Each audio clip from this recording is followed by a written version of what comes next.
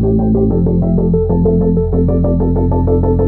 your mind start a journey through a strange new world. Leave all thoughts of the world you once knew before.